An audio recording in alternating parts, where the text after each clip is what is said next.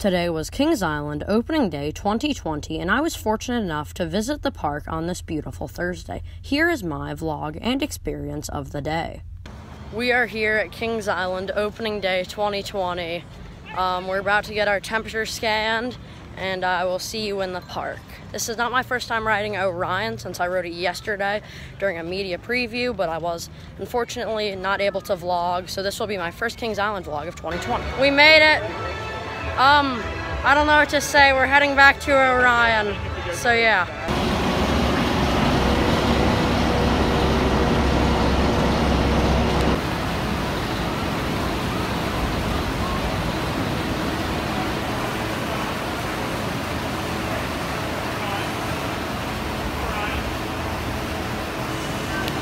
I just got off of Orion. I rode in row five. That was awesome.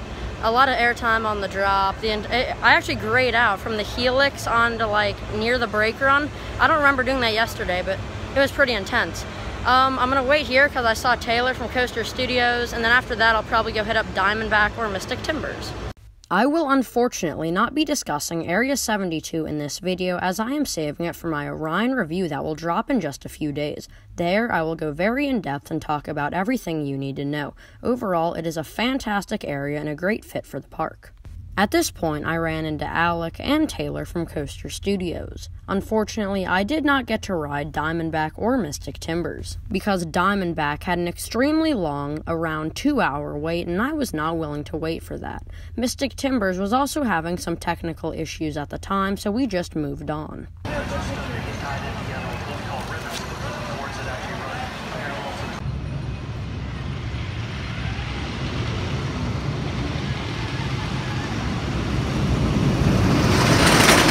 I just got off of the racer. That thing is awful. It's so rough. Tiny bit of floater air time, but it's just eh. We're now walking in Planet Snoopy just trying to do anything because everything has a really long line and it's ridiculous. On the back, Kings Island one or only orange.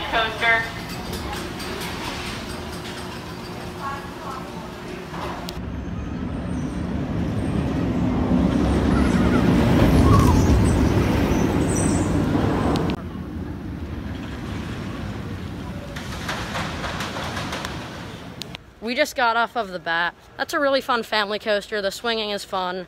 Um, it's definitely a hike to get back here, but if you're in the park, I recommend it. As you guys can probably tell, I forgot to close off this vlog, but here I am in the car. I had a bunch of fun today, met up with a few cool people, got a bunch of shots of Orion.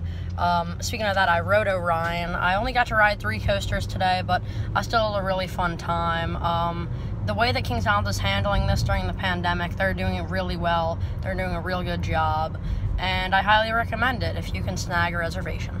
So, if this vlog was a little short and weird, I'm sorry, but I was just with a group of people and didn't want to be awkward by having to vlog with them. Also, I was in a little bit of a time crunch, so I didn't have as much time. So, here are my overall thoughts on the park. In terms of mask wearing, everybody was wearing their mask correctly, except for one family, but a security guard told them to put it on right and they obliged. Everybody at the park was taking social distancing very seriously. In ride queue lines, they would stand around 3 to 4 feet away from the person next to them. On midways, however, they would stand at least 6 to 7 feet away, which is even better. So if you are worried about the coronavirus but want to come to a theme park, I would definitely recommend Kings Island. I will have a full, in depth review of Orion coming later to my channel, so I'm not going to talk about it here. Anyways, I'll see you next time on Hang Time Thrills.